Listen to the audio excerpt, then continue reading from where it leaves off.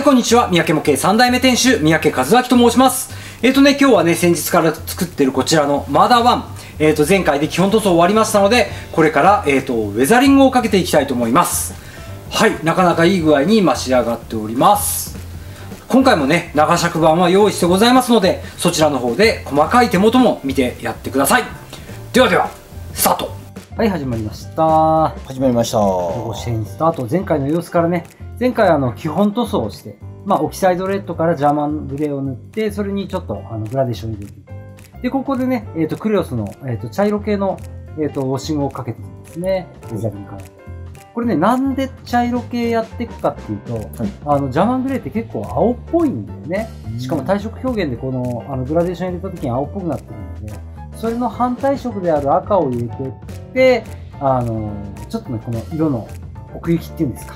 それをつけていく感じになってますね、うん、単にね黒っぽい色とかで入れちゃうとその青系の色ばっかりが濃くなってくるような形になっちゃうのでここは茶色で、まあ、この後ね入れてくるあのサビの色とかもっともっと赤い色になるので、うん。それだけが異常に目立ってきちゃうから、ここで最初にね茶色をグッと入れとくということであのその効果っていうんですかねこのバランスを取るのに茶色で入れてってます最終状態を見ながら、想像しながら。そうそうそうそうそうそうそう。うん。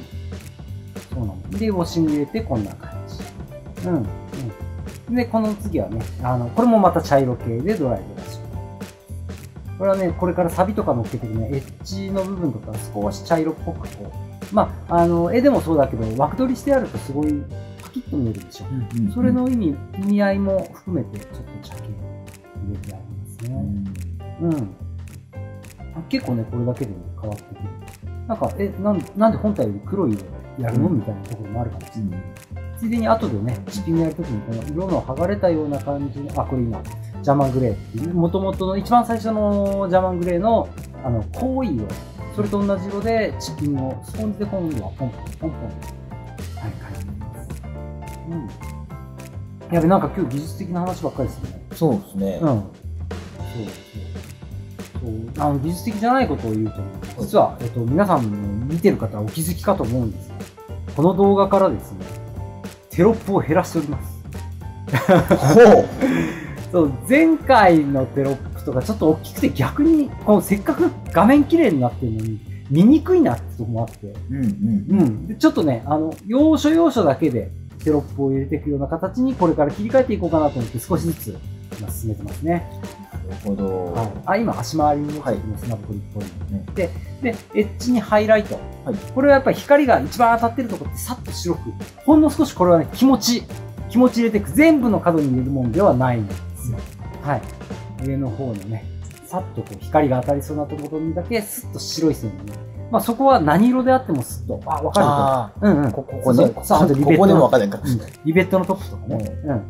で、この後に、さ、あの、赤サビの色を入れる。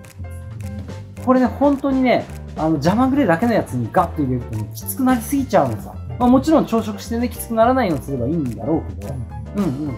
それ、あの、まあ、あの、こう書いてはね、実は綿棒とね、ちょっちょちょっと持ち替えながらね、こうねぼかしながらバランス見て入れていくんですね。うんうんうん。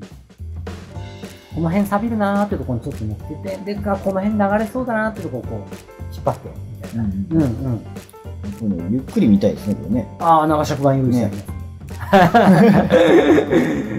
なんか今日はあれだね、うまい具合にこう CM が 入る感じだね。ちょいちょいとね。ちょいちょいとね。で、こういう形でまとまっていきますす。はい、もう結構プラスチックには見えない感じ。で、これ、砲弾がね、結構ね、つまさってるんですけど、それをちょっとまだやってなかったんですね。まあ、ここはね、あの、筆塗りで全部やっちゃいました。本当はね、エアブラシ使って、まあ、しあのーね、真鍮のスポンとしたものなので、エアブラシで綺麗にしてやるのもいいんだけど、うん、ここはあえてちょっと筆塗りで。はい。筆塗りで、ちょっとガサガサっとした感じで、真鍮色。うん、まあ、こあのーね、オープントップの内側にさっと見えるとね。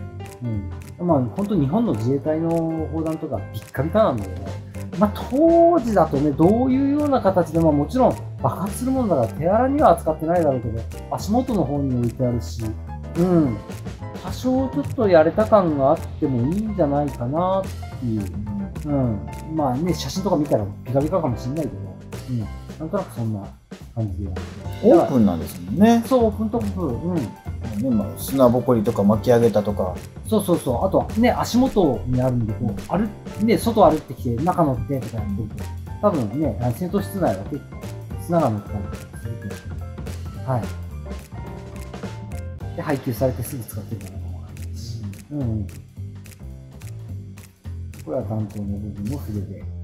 この時ね、うん僕普通、塗装するとき大体手袋履いてるんだけど、この時はちょっと細くてね、うまくこうできなくて、うんうん、それで手袋を脱いで、小回り先の時はやっぱり素手が一番いい。うん。本当は全部素手でやりたいけど、まあ僕ね、この動画撮影中もちょっと止めて、あの接客とかもしてるので、じゃあ手袋入ってですね。で、砲弾積み込んで、それで今回今回の車体車体部分完成。ああ、本うん、こんな感じで。まあね、次、次回はフィギュアの制作になるのかなはい。ああとぜひ、長尺版も見てやってください。